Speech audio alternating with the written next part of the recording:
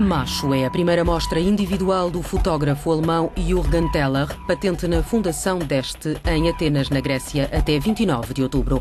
A exposição ironiza o narcisismo masculino e inspira-se no trabalho que o fotógrafo realizou para uma outra mostra, Masculine Masculine, do Museu d'Orsay, em Paris.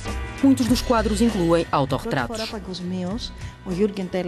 É a primeira vez que Jürgen Teller mostra os seus autorretratos em conjunto numa exposição. Ele começou a fotografá-los nos últimos 25 anos. Esta exposição é como entrar na sua cabeça. É um pecado tentar descrever a sua obra.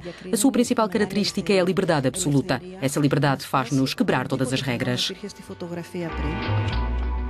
A série masculina está incluída na exposição. São fotografias de clássicos da escultura e pintura.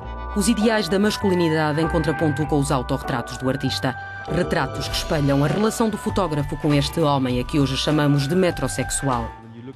Quando olhamos para estas esculturas gregas, ou para o trabalho de Leni Riefenstahl, Herbert List ou Robert Mapplethorpe, vemos sempre homens que parecem perfeitos.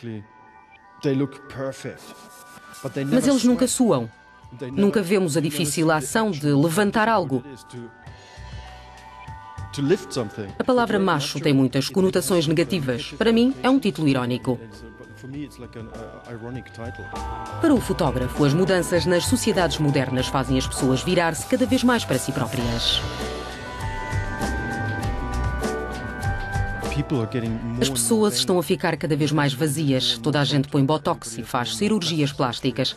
As pessoas tomam cada vez mais conta de si próprias, comem comida saudável e fazem esses estúpidos autorretratos, as selfies.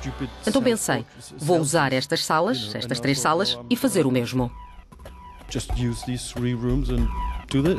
A maior ironia é que Teller é um consagrado fotógrafo de moda e ele capta com a sua câmara corpos esbeltos, magros, aquilo que é socialmente considerado perfeito.